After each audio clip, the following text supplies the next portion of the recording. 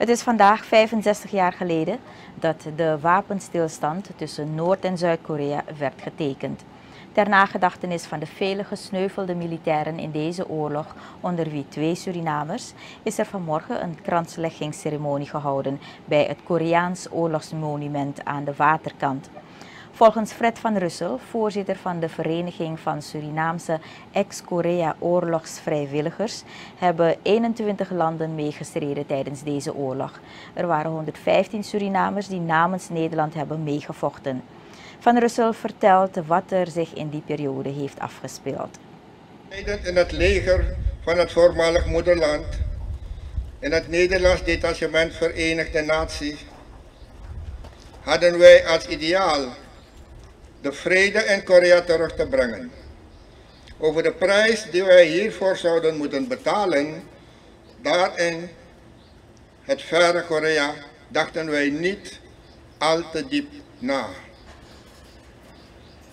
Dames en heren, deze 115 Surinaamse vrijwilligers tekenden vol enthousiasme voor één jaar. Wij waren vrijwilligers maar hadden natuurlijk wel recht op een salaris. Het salaris bedroeg voor de ongehuwde mannen 75 Surinaamse guldens. En de gehuwde kreeg 225 guldens. De kinderbijslag was 25 gulden per kind. En voor elke dag aan het front kregen wij als premie 2, 2 United States dollars.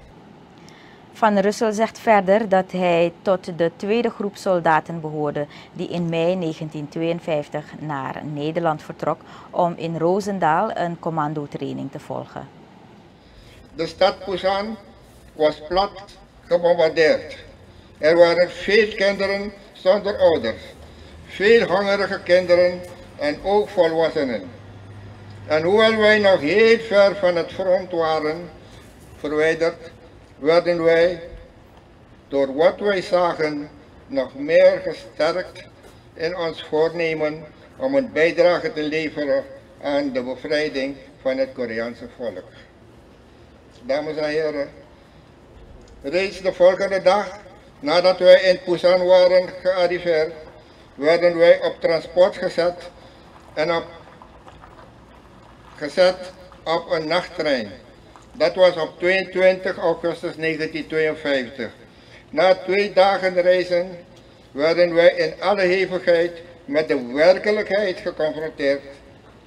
Het leek alsof wij in een soort van, een soort van het waren terechtgekomen. Fred van Russel was dat. Hij is voorzitter van de Vereniging van Surinaamse ex-Korea-oorlogsvrijwilligers. Hij sprak vanmorgen tijdens de 65e herdenking van de wapenstilstand tussen Noord- en Zuid-Korea. Er zijn kransen gelegd bij het Koreaans oorlogsmonument aan de waterkant.